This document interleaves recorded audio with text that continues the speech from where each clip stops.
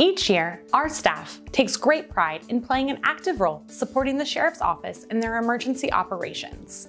The biggest role our staff members have during times of emergency is assisting with the citizen information lines. These additional phone lines are activated for citizens to call in and ask questions prior to, during, and after an event or situation affects our area. Additionally, our staff work with the Nature Coast Volunteer Center to contact citizens who need assistance with evacuation strategies and other services. Library staff members also help in the emergency shelters in coordination with other school district and county personnel.